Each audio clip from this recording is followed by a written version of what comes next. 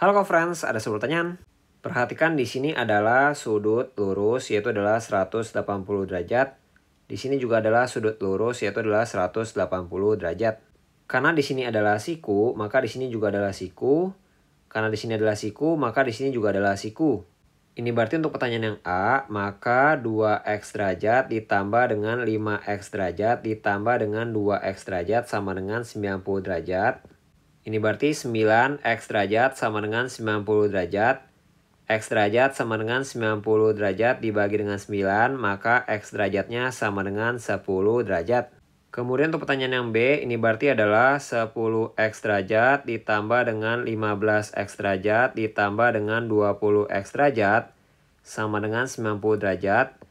Ini berarti 45x derajat sama dengan 90 derajat.